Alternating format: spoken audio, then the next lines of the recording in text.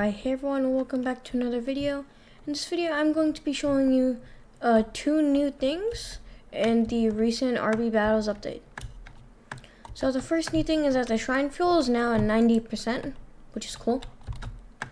And if you go down to the Do Not Enter place over here, there is a ship.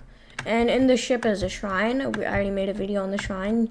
You can go check it out in the top right of the screen. Anyway, so as you go into here, there's a new thing.